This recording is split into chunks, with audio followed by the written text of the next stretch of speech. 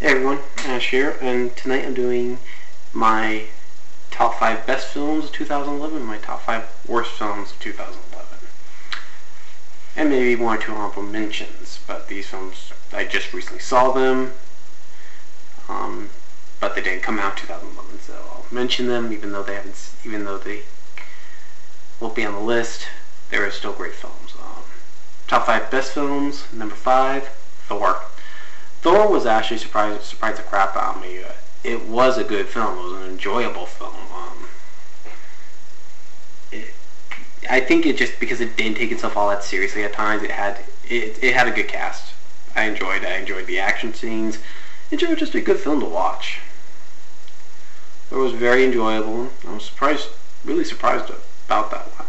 Um, so yeah, number five, Thor. Number four, Battle LA or Battle Los Angeles, whatever which one's ever called.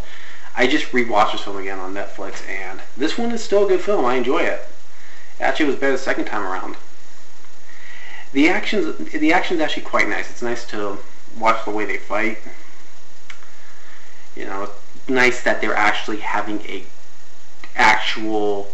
It's actually the military this time, because most alien invasion movies, it's the um, it's about the uh, civilians. It's about, oh, well, it's the civilians, you know, we, have to focus on them, not the military. Fuck that. I want to see the military fight. I get fed up with these alien films that focus on the innocent people. I want to see the Marines go against an alien race. And we finally saw that here in Battle LA. It was actually quite nice. I enjoyed the story. I had good story. It's a popcorn film. That simple, and it's quite enjoyable. So, number four, Battle LA. Number three, Sherlock Holmes. Um, good movies. I enjoyed this. Actually, this is sequel, Sherlock Holmes 2. Uh, I enjoyed this one a lot, actually. Surprisingly, it was um, enjoyable. Robert Downey Jr. is great as always.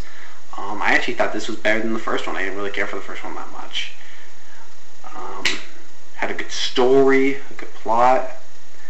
Really enjoyable film. Nothing overkill here or there. It just it felt like one of those really well done films that had a good pacing and good speed. But first Sherlock Holmes didn't have a really good speed. It kind of was a little slow at times. So this one had much better speed, and I felt like it moved quicker, which was a nice feature also. Um, so yeah, number three, Sherlock Holmes 2.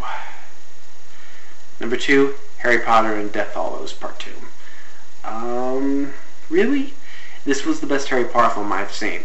I've seen all the Harry Potter movies. This one was the best. The best acting, uh, probably the most intense of them. Uh, good acting by like best acting, like I said, uh, especially Daniel Radcliffe, who did an amazing job as Harry. Um, and in general, just a very enjoyable film. I think the best one they did, and I did like its ending. General, just a good film really enjoyable, so it makes the list number two. So what's number one? X-Men First Class. Finally an X-Men film without Wolverine. That's first and foremost thank you. God, I was sick and tired of every fucking film having Wolverine. It, it even the first three X-Men films should have been just called Wolverine. Because they focused more on him than the rest of the X-Men. This one actually focused on the fucking X-Men. Magneto is fucking badass. They did a great job with Magneto. He was fucking badass in this film. The best. It was the best film. It was enjoyable. Had a great plot. Just in general, just an amazing film. I loved watching. It was one of the best films of the year without hesitation. So number one, X-Men First Class. Next up, top five worst films of 2011.